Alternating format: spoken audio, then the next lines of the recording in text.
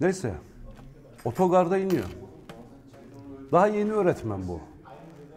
İlk tecrübesi. O dönemde de lojman işleri biraz sıkıntı. Köy meydanına yakın bir yerde küçük bir lojman var. Şansını oraya yerleşiyor. Yolda giderken dikkatini çekiyor. Evlerin önünde genelde salyangoz kabukları var. İplere bağlayıp asmışlar. Kapıların önüne dizmişler. Bahçe çitlerinin üzerine koymuşlar.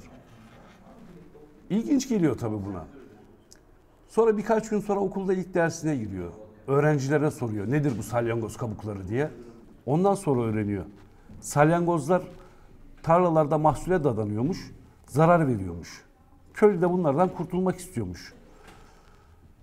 Çocuklar nerede görse salyangozları öldürüyorlarmış. Hatta bunu özellikle bir oyun haline getirmişler. Arayıp buluyorlarmış falan.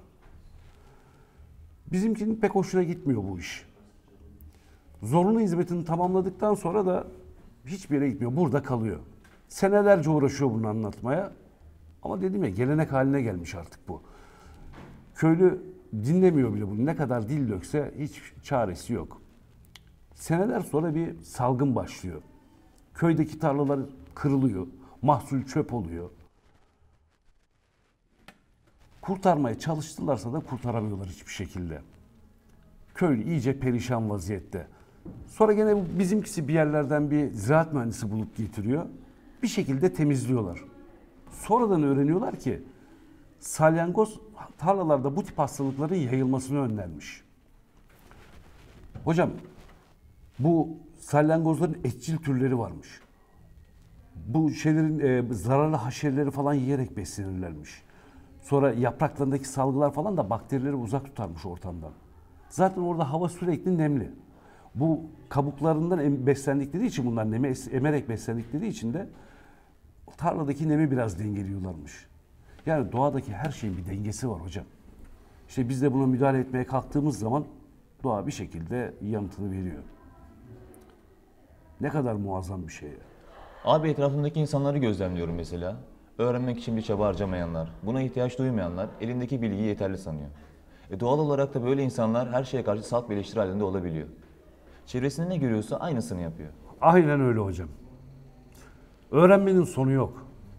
Öldüğünde dahi insan ölmenin nasıl bir şey olduğunu öğreniyor. Hep bir öğrenme, ileri gitme eğiliminde olmazsa insan ne yapabilir? Yerinde de sayamaz. Çünkü nesne evren içerisinde sürekli bir hareket içinde olmak zorunda. Bundan dolayı etrafına daireler çizer durur.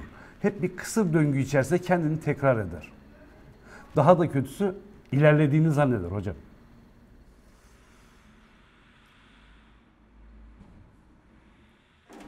Abi ben de bu konuyla alakalı bir kitap buldum geçen. Onu da ben de sana anlatayım da.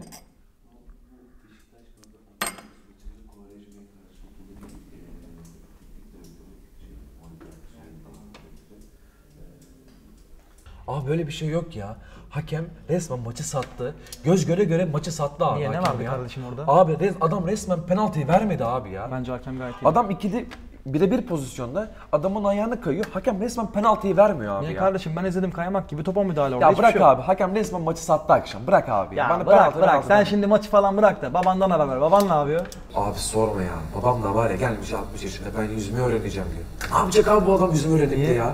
Bir 60 yaşında gelmiş yüzümü öğrenip de ne yapacak bu adam Niye? ya? Oğlum sen de gidersin lan babanla beraber takılırsınız havuzda. He he öyle oluyor. Oğlum bırakın şu goy goyu da akşam şarkı başına olur onu söyleyeyim Kardeşim, bana. Almanya Ligi 2.5 üstü biliyorsun. Almanya'da her üst. zaman gol oranı yüksektir.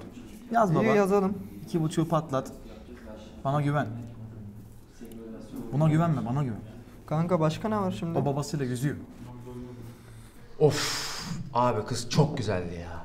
Böyle var ya 10 durak kadar biz bununla kesiştik. Ben kafaya koydum konuşacağım. Kız çünkü var ya ateş, ateş ediyor. Ateş, ateş.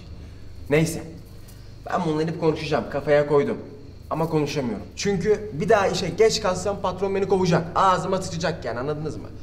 Böyle var ya mas, mas mavi mi yemyeşil mi gözleri vardı böyle. Lan çok güzeldi be. Böyle lan ne oluyor oğlum? Sen otobüsteki adamı anlatsana mı? Ya bırak oğlum ya. O ne lan? Hadi hadi anlat. Şimdi onu anlatayım dur. Şimdi otobüste gidiyoruz. Tıklım tıklım göt göteyiz. Böyle otobüs ani fren yaptı lavuğun teki de tutunmuyor. Telefonla oynuyor. Artık ne bakıyorsa. Ani fren ayağıma basıyor. Bir daha fren bir daha bas. Bir daha fren bir daha bas. Kafa attı benim. Dedim ki arkadaşım bak. Dedim ki bak arkadaşım tutun dedim. Bu bana böyle ağız göz yapıyor. Ben bunun boğazına bir yapış. Millet zor ayırdı valla. Ne var oğlum? Geri vites yok bizde öyle.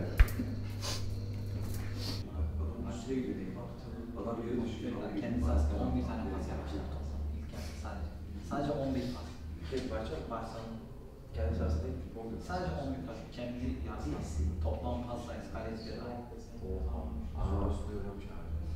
Ee, 272 pas yapmışlar. 283 pas. 272 rakip sahanın için. Hatta bu 272'nin 170 küsürü ceza